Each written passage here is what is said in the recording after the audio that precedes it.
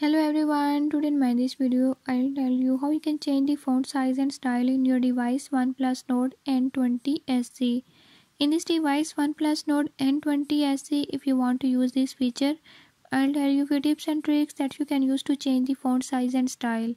Before I start, if you are new to my channel, don't forget to subscribe and press bell icon. Watch complete video and learn how you can do it. Let's